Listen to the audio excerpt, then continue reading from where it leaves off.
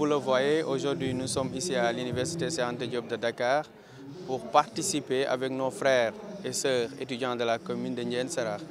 C'est un aussi important qui nous a permis de se regrouper autour de l'essentiel, de voir nos frères et nos étudiants qui sont ici à l'ICAT. Le thème porté sur l'étudiant un acteur de développement local. Bon, on a jugé nécessaire que nous, en tant que responsables jeunes, mais aussi en tant qu'étudiants, euh, on doit participer pour le développement socio-économique de notre commune. C'est la raison pour laquelle on a choisi ce thème qui est très important pour au moins parler avec nos frères, nos sœurs étudiants qui sont ici à l'Université Ante Diop pour leur motiver davantage de s'engager dans la politique pour que cette commune soit parmi les meilleures du Sénégal.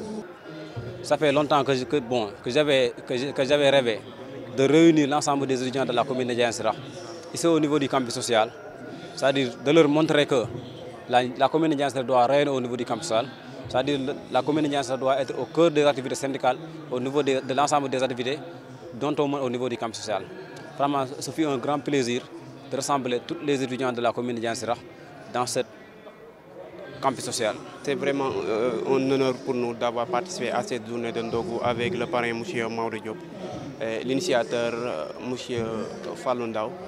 Je peux dire que c'est une première fois ici dans l'université que euh, toute, la, toute la jeunesse de, de, de la commune de Niensira participe vraiment en même temps dans une journée pour parler vraiment des, des, des, des choses de, de, la commune, des choses qui peuvent vraiment amener de l'avant notre commune. Donc c'est vraiment une très belle initiative et nous remercions aussi M. Mauro davantage vraiment.